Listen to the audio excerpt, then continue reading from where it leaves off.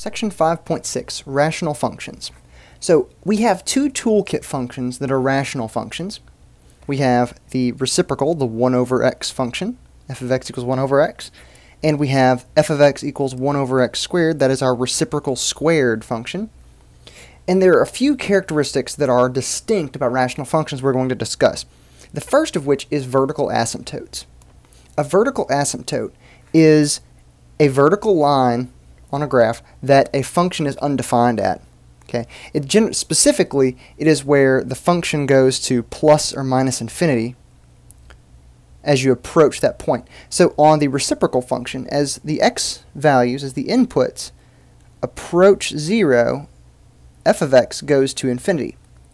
And similarly, as the x values approach from the left side of zero, they approach, the y values, the outputs approach negative infinity. So we have a vertical asymptote, and we generally draw a dashed line to indicate that the function does not attain that value and that something interesting is happening there. Okay, so vertical asymptote x equals 0. We see something similar happening with the reciprocal squared function. Okay, our x values, as they approach 0, our outputs are approaching infinity from both directions. All right, so our vertical asymptote here is x equals 0. The next notable characteristic is the horizontal asymptote. A horizontal asymptote of a graph is a horizontal line, y equals b, where the graph approaches that line as the inputs increase or decrease. Okay, that is set in arrow notation right here. As x goes to infinity, the out, as the inputs go to infinity, the outputs approach some value b, or as the inputs approach negative infinity, the outputs approach some value b. So for both of these functions, I'm going to do this in a different color.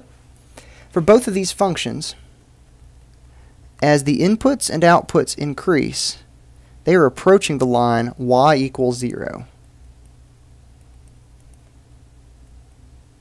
As the inputs increase, the outputs are approaching 0 for both of these functions.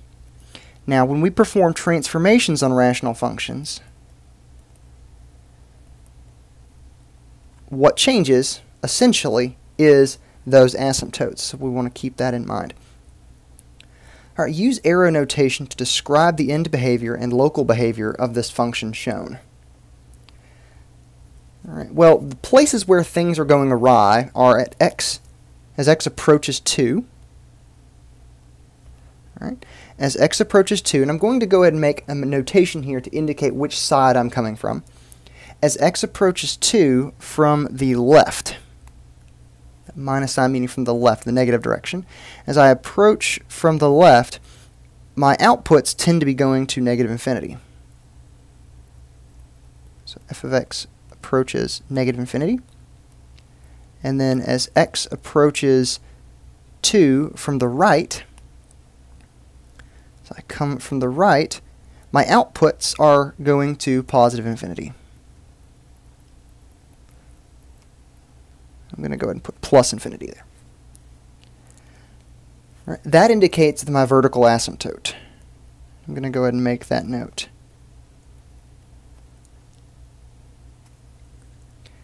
Right, now my, for my end behavior, that is the horizontal asymptote. As I go, as my inputs increase, it looks like my outputs are actually approaching the value 4. Now, so that is an output of 4. That's what that indicates. Now, the same thing is happening. Let's go ahead and write the first one. As x goes to infinity, f of x approaches 4. But if you notice, as the x values increase, they approach 4 from above. Okay, And as you come go to negative infinity, those y values, those outputs, are also approaching 4, but they're just coming from underneath. So the way we want to write that is as x approaches plus or minus infinity, f of x goes to 4. And that is the arrow notation. That is the arrow notation. And here's the way that is generally acceptable to write that as well. Two different notations there. Alright, for our next example, we want to sketch a graph of the reciprocal function shifted two units to the left and up three. units. Identify horizontal and vertical asymptotes, if any. well, the reciprocal function, the parent or toolkit function, appears like this with our horizontal and vertical asymptotes both at 0. So if we shift this to the left two units, that's going to shift our horizontal asymptote two units to the left. Right, so we'll have a horizontal asymptote there. And then shifting up 3, we'll make our horizontal asymptote at positive 3. And then based on the shape of that function, should have behavior like so. Now that is a sketch, that's not perfect, but that about takes care of it. Alright, so for our vertical asymptote, I want to write out what that end behavior looks like. That is it, or that local behavior. That is at x equals negative 2. And that would be as x approaches negative 2 from the left, f of x approaches minus infinity. And as x approaches negative 2 from the right-hand side, the positive side, f of x is approaching positive infinity. And then we have our horizontal asymptote at y equals 3, obtained by shifting it up 3. And that is as x approaches plus or minus infinity, f of x approaches 4, or approaches 3 in this case. The last one was 4. Alright, now this brings us to the definition of a rational function. Okay, how we define those. Now you'll notice that the examples we've looked at so far all fit. Those equations fit this definition. A rational function is a function that can be written as a quotient of two polynomials, p of x and q of x, so that our function is p of x divided by q of x, where q of x is not equal to 0. We still cannot divide by 0. That restriction will not change. Right, example 3, a large mixing tank currently contains 100 gallons of water into which 5 pounds of sugar has been mixed. A tap will open pouring 10 gallons per minute of water into the tank. At the same time, sugar is poured, poured into the tank at a rate of 1 pound per minute. Find the concentration of sugar in the tank after 12 minutes and then is this a greater concentration than at the beginning? So what we need to do is write a function. All right, we have concentration at time t. And we need to have some way to describe what is happening here. Well, the concentration is the amount of sugar divided by the amount of water, pounds per gallon. Well, initially there were 5 pounds of sugar, and that is changing at a rate of 1 pound per minute. All right, and the amount of water began at 100 gallons, and it is increasing at a rate of 10 gallons per minute. So there's my function that represents the concentration. That is the, the largest part of this. Now to find the concentration after 12 minutes, we want to find C of 12.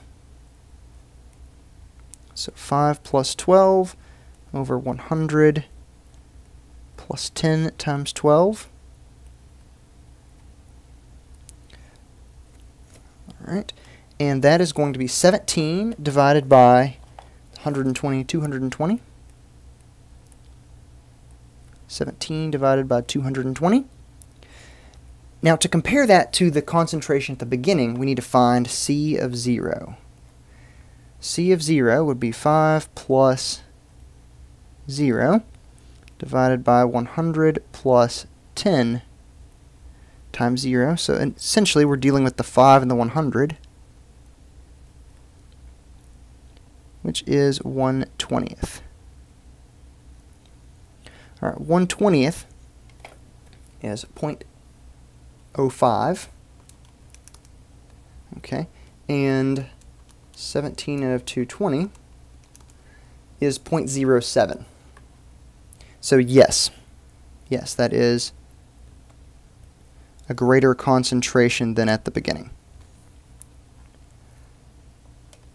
Next, we want to find the domain of a rational function. Okay, how do we find domain restrictions? So set the denominator equal to 0, and then find the x values that cause the denominator to be 0. And then the, all, the domain is all real numbers except those found in that step.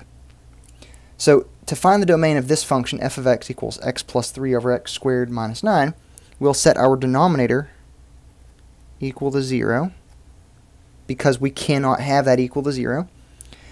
All right, now, solving this, we could factor that. I'm going to go ahead and say x squared equals 9. If we take the square root, we get x equals plus or minus 3. Remember, we are taking the square root there. So x equals plus or minus 3 will make our denominator 0. So that means our domain is x, x's that are not equal to plus or minus 3. Written in interval notation, that would be negative infinity to minus 3.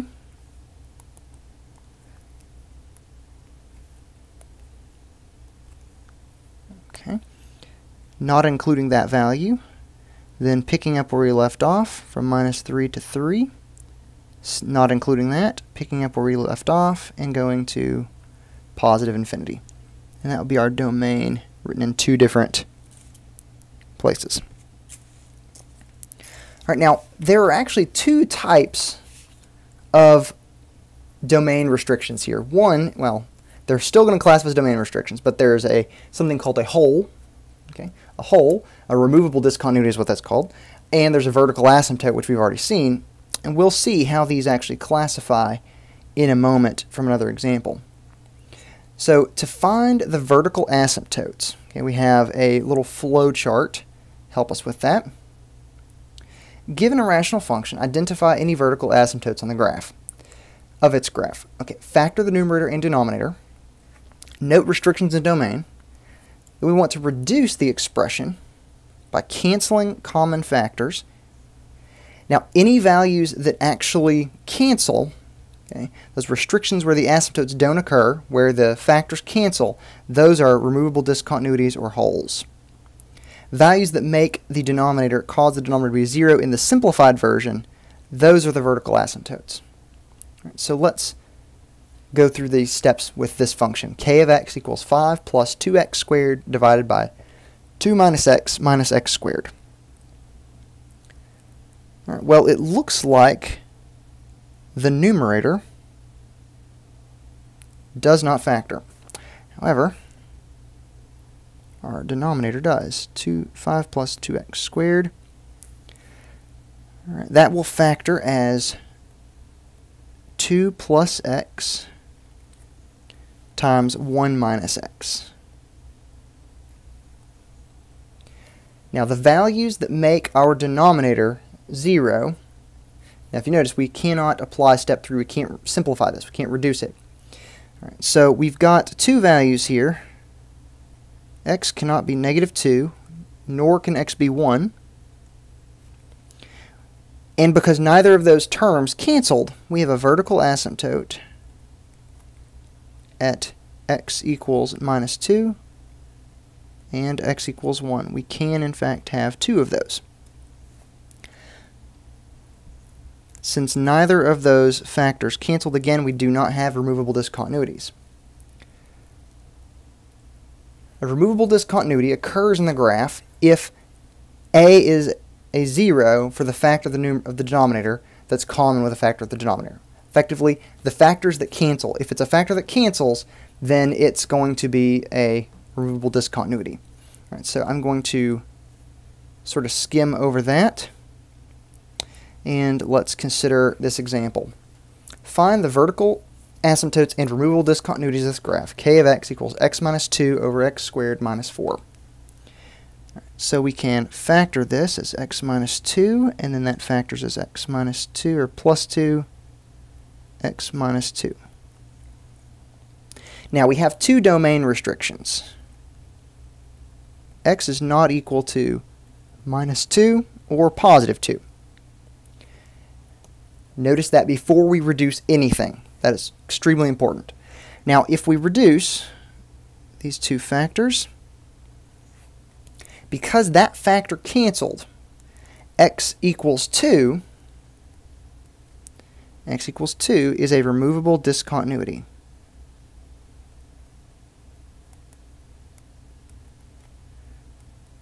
Continuity. Because that factor canceled, which that leaves this value at being our vertical asymptote. So we'll state this as we have a vertical asymptote of x equals negative 4 and a hole or a removable discontinuity at x equals 2. That will sum up what we have there. Next, how do we find horizontal asymptotes? We know how algebraically to find to find vertical asymptotes and removable discontinuities, but for horizontal asymptotes we have three cases. Horizontal asymptotes of rational functions can be determined by looking at the degrees of the numerator and the denominator. If the degree of the numerator, or the denominator, is greater than the degree of the numerator, denominator greater than numerator, horizontal asymptote at y equals 0. That's the easiest case there. If the denominator degree is less than the degree of the numerator, then there is no horizontal asymptote, but there is something called a slant asymptote that we will explore. And then if the degree of the denominator equals the numerator's degree, then the horizontal asymptote is at the ratio of the leading coefficients. Alright, now there's only actually one example in our textbook, but I've actually left two of them in here because we could use some practice with this. So I'm going to go ahead and write this here. Degree of the numerator. Okay. okay. Oh, that's stated as denominator first, though. the degree of the denominator, if that's greater than the numerator, then we have an asymptote at y equals 0. Right. If the degree of the denominator is less than the degree of the numerator, slant. And in that case, we'll have to do some division. If the degree of the denominator is equal to the degree of the numerator, okay, then it's the ratio of leading coefficients.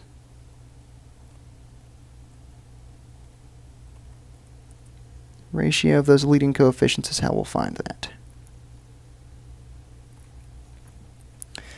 Alright, for example 7, find the horizontal asymptotes of these three functions. All right. Well, if you notice, the degree here, let's go ahead and label that. The degree is, let's not say equal, degree is 1. It's 4x plus 2. The denominator, the degree is 2. Since the denominator is greater than the numerator, we have a horizontal asymptote at y equals 0. All right, moving on. Example B, part B. The degree of the of the numerator is 2. The degree of the denominator is 1. The denominator is or the denominator is less than the numerator, so there's a slant asymptote. So we're going to need to divide here. And I'm going to go ahead and divide with with our synthetic division. So that'll be 3 minus 2, 1. 1 times 3 is 3, negative 2 and 3 is 1, 1 times 1 is 1, 1 plus 1 is 2. So our division results in 3x plus 1 plus 2 divided by x minus 1. Okay, so this means we have a slant asymptote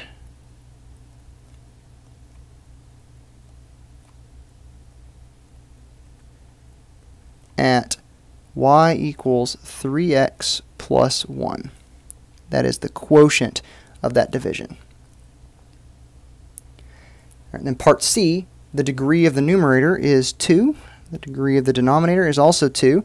They're equal, so we take the ratio of the leading coefficients.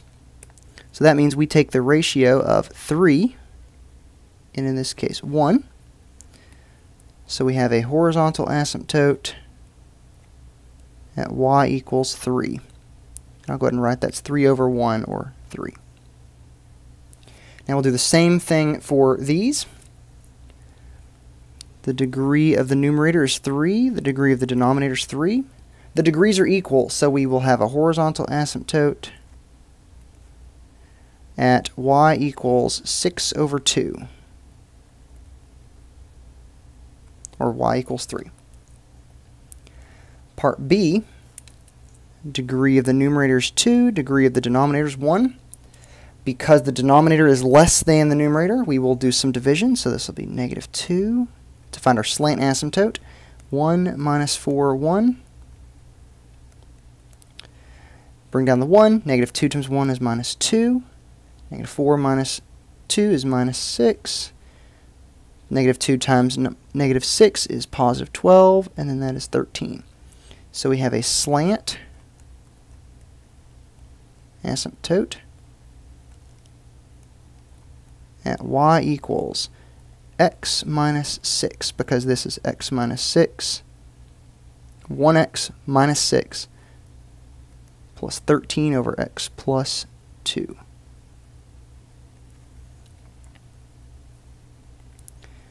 And then our last one, the degree of the numerator is 2, the x squared, the highest exponent, and the degree of the denominator is 3. Because the denominator is greater, we have a horizontal asymptote at y equals 0. All right. For our next question, we want to return to our sugar concentration problem and find the horizontal asymptote and interpret it. Well, because the degree of the numerator is 1 and the degree of the denominator is also 1, we'll take our coefficient 1 divided by 10 so we have a horizontal asymptote at y equals 1 tenth, which means in the long run, I'm just going to go ahead and say this, in the long run, there will be a concentration of 1 tenth, 1 tenth of a gallon per, or pound per gallon worth of units there. Okay, and that is as x or t as t goes to infinity. As time increases, we're eventually going to have one-tenth or very close to one-tenth of a gallon or pound per gallon as a concentration. All right, next function we want to find horizontal and vertical asymptotes of is written in factored form so what we need to do is consider what the degree would be if we multiplied it out. In this case, we have two degrees of 1 factors. Okay. So when we multiply those two, we would get a degree of 2. In the denominator, we would get a degree of 3. So we have a horizontal asymptote okay, of y equals 0. And if we were going to find the horizontal asymptote, or vertical asymptote,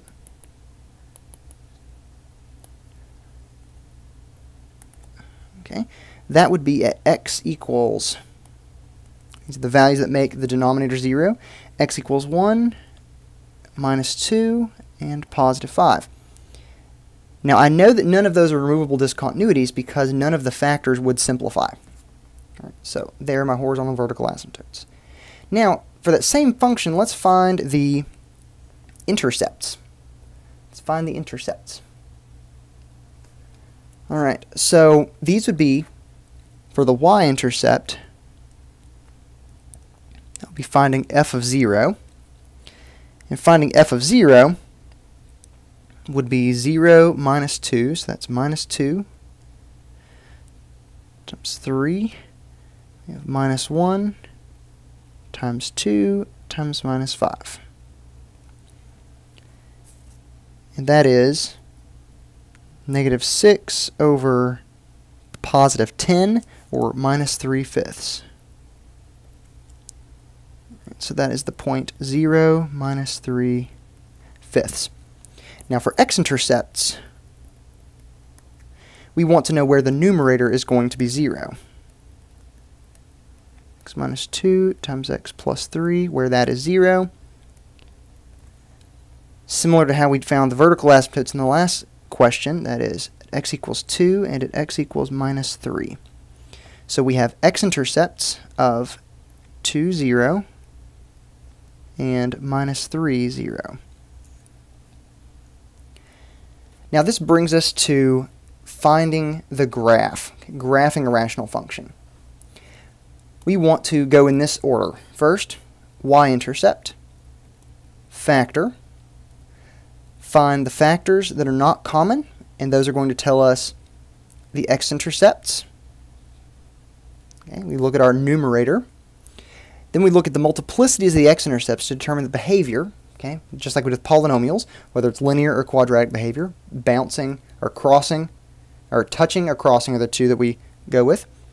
Then we look at the multiplicities of zeros to determine local behavior, okay, and that is for our denominator. That tells us whether it's going to act like the reciprocal or the reciprocal squared. We find removable discontinuities by seeing what cancels. Then we find the horizontal asymptotes and slant asymptotes, and then sketch. All right, so let's see what we can do for this next function. Sketch the graph of f of x equals x plus 2 times x minus 3, and we have x plus 1 squared over, and then we have also have an x minus 2 term there. All right, so first we'll go ahead and find our y-intercept. So evaluating this at 0, that'll be 0 plus 2, so we'll go ahead and say that's 2 times minus 3. We have 1 squared, and then we have minus 2. So that's minus 6 over minus 2. So our y-intercept is 0, 3. Next we'll move on to x-intercepts. That would set x plus 2 times x minus 3 equal to 0, which makes x be minus 2 or positive 3. So our x-intercepts are minus 2, 0 and 3, 0. Now each of those each of these factors up here have a single multiplicity. So we have multiplicity equals 1, which means that these are going to cross at those places rather than touch. Right, now let's look at our vertical asymptotes. It doesn't look like any expressions can't any factors cancel, so there are no there are no removable discontinuities. Vertical asymptotes will occur when the denominator is 0, so x plus 1 squared, x minus 2. So we have x equals minus 1 and positive 2. Now, looking at the multiplicities here, multiplicity of 2, okay, multiplicity of 2 tells us that this is going to act like, at that point, locally, it's going to look like the reciprocal squared function. So we're going to have something that looks like this, or something that looks like this. Now this one, multiplicity of 1 means we're going to have at that point something, our asymptote will look something like that. Right, that, I believe, tells us almost everything we need to know. Our horizontal asymptote, the degree of the denominator is 3, and the numerator is 2, so this is going to be y equals 0. So let's sketch this graph. First, we'll start with our y-intercept of 3. y-intercept of 3. We have x-intercepts at negative 2 and at 3. Put those points there. And we know it's going to cross at those points. Let's see, uh, we will have a vertical asymptote at minus 1 and 2. Oh, I missed my point there. Minus 1 and at 2. Alright, now we know both of those are going to cross. We don't know which way they're going to go. Okay, so for the point 0, 0, okay, Okay, so with each of those two points, we know that we are going to have something like this occurring at x equals negative 1. So it's either going to increase here and increase here, or decrease here and decrease here. But we know there's no x-intercepts in between here. So this function must increase. Now, because of the x minus 1 squared that we had, this function must also, is going to act like the reciprocal squared, and it's going to cross, so it's going to come down this way.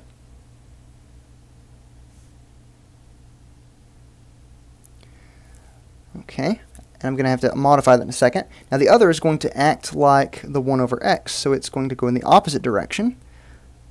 So this function must come down here, and it crosses. Let's scratch that because I haven't taken into account the horizontal asymptote yet. It has to approach zero. So this function must do something like this and come back and approach y equals zero. There's a lot of pieces there, so make sure that you understand each one and go back and listen to this again if you'd like. Our, last question is write the equation for this rational function. For this function, we're going in the opposite direction. All right, so we know that we need to have an equation with a y-intercept of minus 2, so 0 minus 2. We know that we need to have x-intercepts at the point negative 2, 0 and 3, 0. And we're going to have multiplicities of 1 there because they cross.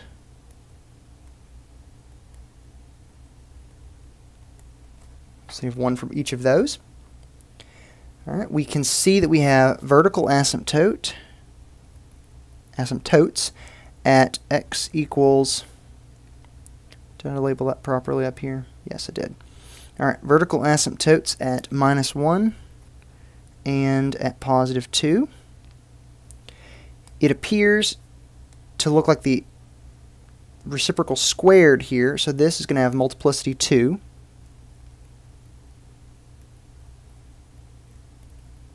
And it appears to look like, or sorry, scratch that, that's the other one.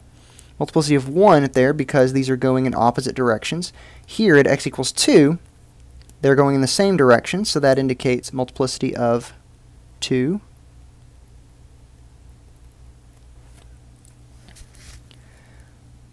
Alright, now let's begin to piece a function together. y equals a, we don't know what the constant factor is going to be there.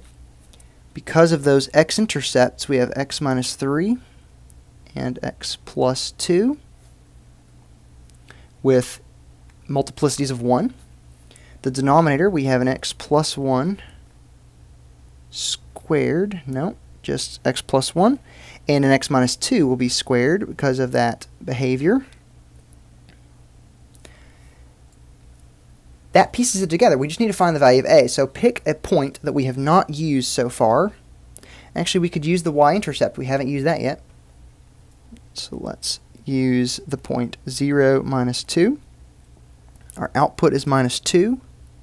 When our input is 0, so that would be minus 3 times 2 over 1, and that is minus 2 squared.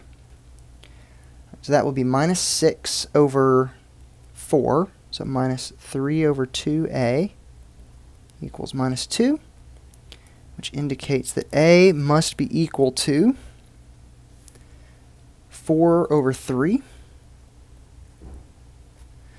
So our function, I'm going to go ahead and write that in function notation, is 4 thirds, we'll have our fraction here, x minus 3, x plus 2, again with our single multiplicities, x plus 1 with a single multiplicity, x minus 2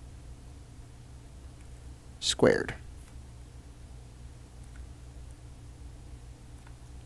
Okay.